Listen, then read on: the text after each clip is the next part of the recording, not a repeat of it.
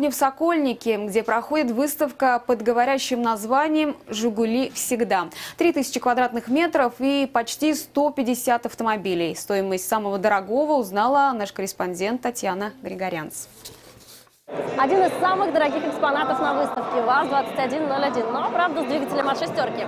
165 лошадиных сил, варной каркас. Малышка на полтора миллиона. Но, впрочем, владельцы говорят, что она оправдывает вложенные в нее средства на гоночном треке. Больше 30 лет Тольяттинский завод выпускал «Жигули», в том числе на экспорт. В Сокольниках собрался весь цвет представителей марки, которые состязаются в шести номинациях. За звание «Самый мощный», «Самый низкий», «Самый стильный» и прочее. С 2013 года их не выпускают в Тольятти, все.